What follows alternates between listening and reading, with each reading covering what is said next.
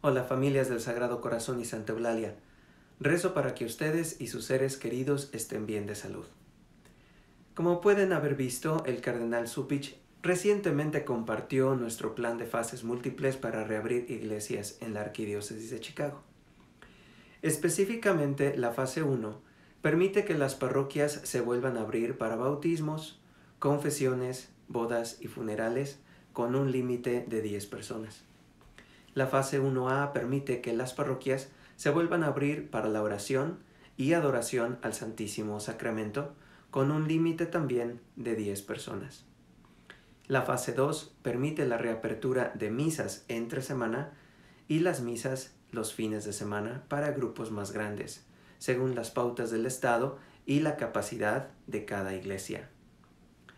El plan de apertura para el Sagrado Corazón y Santa Eulalia es el siguiente. Es importante que todos comprendan que nuestros esfuerzos darán prioridad a la seguridad y al bienestar de todos, manteniendo el debido respeto y reverencia por los sacramentos y las normas litúrgicas de nuestra fe. Reuniré un equipo de liderazgo de reapertura parroquial con feligreses, co-capitanes, para liderar nuestros esfuerzos. Vamos a asistir juntos a una capacitación requerida por la arquidiócesis para asegurar que nuestro plan de apertura de la parroquia se ajuste a las pautas desarrolladas por la arquidiócesis en colaboración con las autoridades civiles y de salud. También recibiremos un kit de inicio de suministros de protección y de limpieza, así como la orientación sobre la compra y el mantenimiento de suministros en el futuro. Necesitamos voluntarios para ayudar con varios aspectos de nuestro plan de apertura de la parroquia. Es importante destacar que los miembros del equipo de liderazgo y los voluntarios no deban ser parte de una población vulnerable. Es decir, que tengan alguna condición médica como diabetes, una enfermedad pulmonar o que estén en tratamiento con cáncer, etc. Si tú eres mayor de 65 años y gozas de buena salud, eres bienvenido a formar parte de nuestro equipo. Esto es basado en una decisión personal de participar entendiendo el riesgo que conlleva también el estar expuesto al contagio.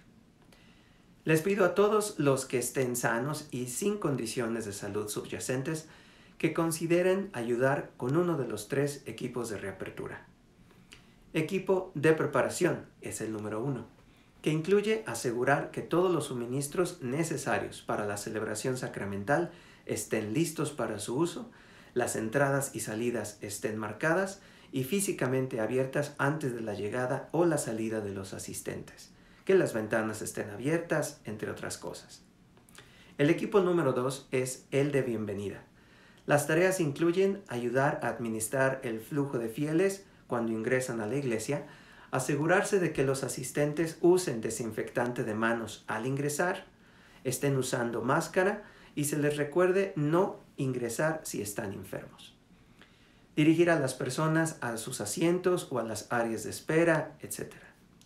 El tercer equipo es el de limpieza, que incluye propiamente el mantenimiento y la limpieza de las áreas esenciales y con mayor tráfico en las iglesias después de que cada sacramento haya sido realizado.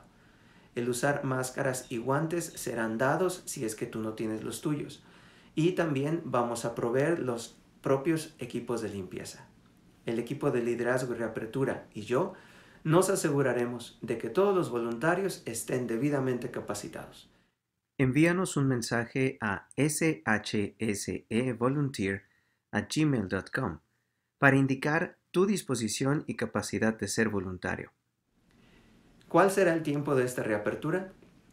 Como mencioné, los miembros del equipo de liderazgo de reapertura parroquial y yo tendremos que completar la capacitación requerida, que se llevará a cabo en la semana del 17 de mayo, que es en la cual estamos.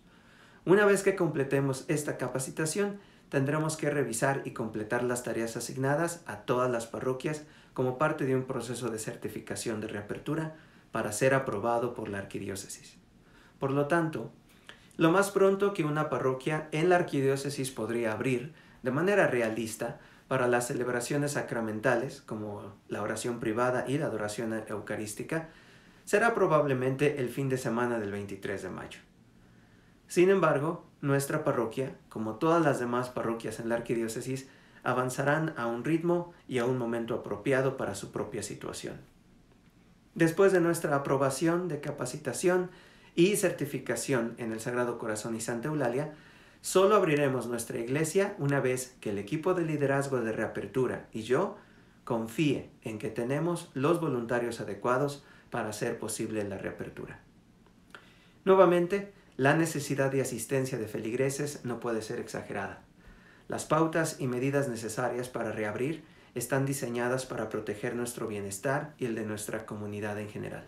Como ha señalado el cardenal Supich, en las primeras páginas de la escritura también aprendemos que, en verdad, somos el guardián de nuestros hermanos. Nuestro Señor Jesucristo oró para que todos sean uno y nos ordenó amarnos los unos a los otros ustedes también deberían amarse los unos a los otros, dice Jesús en el Evangelio de San Juan. Nuestra paciencia colectiva, nuestra voluntad de ayudar y el cuidado que tenemos para reabrir nuestra iglesia es una demostración de nuestra unidad y de amor mutuo. Que Dios les conceda su paz durante un momento difícil, Él se manifieste en sus familias y su amor esté abundantemente con ustedes. Si tienen alguna pregunta o duda, pueden enviarme un email a parish at shsparish.org. Sin más que comentarles, me despido de ustedes, Padre Francisco Ortega. Dios les bendiga y que tengan muy buenas noches.